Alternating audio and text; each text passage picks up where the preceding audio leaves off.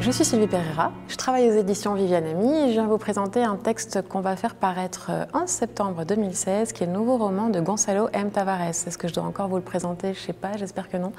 C'est un auteur euh, portugais, âgé d'une quarantaine d'années, qui est une euh, grande célébrité euh, des lettres portugaises au Portugal donc.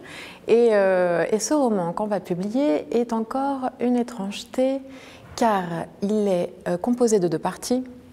La première partie est composée de 25 chapitres. Chaque chapitre est consacré à un petit monsieur. Ça vous fait peut-être penser au Bairro, une série déjà assez célèbre de Gonzalo Tavares qu'on publie depuis quelques années.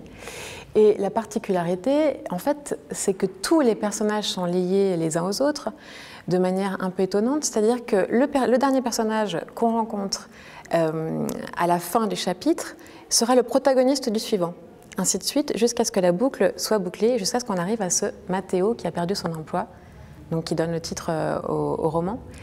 Il euh, ne faut pas fier au titre en fait. Ce n'est pas un texte qui parle de la euh, crise économique et sociale qui sévit au Portugal, même si c'est un peu évoqué tout de même, mais à la manière vraiment de Tavares. la deuxième partie, quant à elle, est une sorte d'essai. Il explique en gros et il donne des pistes euh, de compréhension et de lecture pour lire la première partie. Donc on va dire que la première partie est très incarnée par des personnages, beaucoup plus incarnés que d'habitude d'ailleurs. Hein.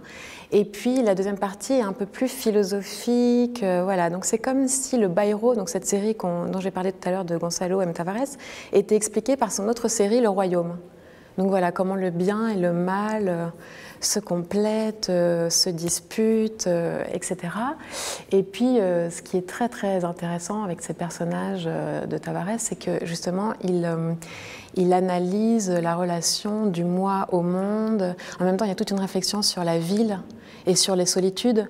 Mais alors, je vous rassure tout de suite, qu'est-ce qu'on rit dans ce livre? On rit vraiment énormément. Et d'ailleurs, si je devais relier ce livre-là à un autre livre de la maison d'édition, ce serait le traducteur kleptomane de Deso Cosolani, qui est très célèbre euh, chez nous et euh, que les libraires connaissent bien, et que les lecteurs fidèles des éditions Vianami connaissent bien.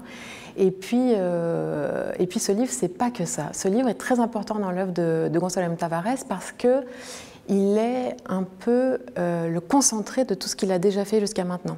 C'est-à-dire qu'il y a un peu des messieurs du Bayrou, un peu de ces romans euh, très sombres du royaume et en même temps du voyage en Inde. Donc je pense que c'est une étape dans son œuvre, c'est-à-dire qu'il fait un peu le bilan pour partir sur autre chose, même si les obsessions sont toujours les mêmes, justement montrer à quel point la, frontière entre raison et folie est ténue, euh, montrer que les lois qui nous régissent sont souvent beaucoup plus absurdes euh, est beaucoup plus arbitraire que ce qu'elles paraissent. Par exemple, l'alphabet.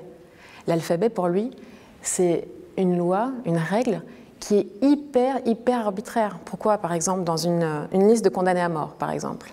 Pourquoi ce serait le type dont le nom commence par la lettre A qui devrait mourir en premier? Voilà, c'est toute une réflexion là-dessus. Et puis, euh, et puis, ce qui est intéressant aussi, c'est ce que euh, je tends à dire, c'est que en fait, ce livre-là est aussi une sorte de condensé de la littérature, euh, euh, de l'histoire de la littérature en général. Pourquoi? Parce qu'il y a un peu de Don Quichotte, de Cervantes, il y a un petit peu de Bartleby, de Melville, il y a du Kafka. Euh, dans l'absurdité de certaines situations. Il y a dans la construction, dans cette recherche justement de sortir du conformisme du roman, il y a du Borges. Euh, il, y a, euh, il, y a, du Beckett dans certains dialogues. Donc voilà, c'est-à-dire que j'ai l'impression que même si c'est très tavarésien dans l'esprit et qu'il est très original et qu'il a son écriture propre, qu'il a quand même euh, tenu à rendre hommage à tous ces, auteurs fétiches. Et puis, ce qui est très très agréable avec Tavares, c'est qu'en fait, nous, en tant que lecteurs, on a toujours l'impression de participer très activement. On a l'impression d'être utile, en fait, quand on lit Tavares. Parce qu'il fait de nous ben, ses marionnettes et, et surtout ses complices. Et ça, pour le coup, je trouve que c'est merveilleux.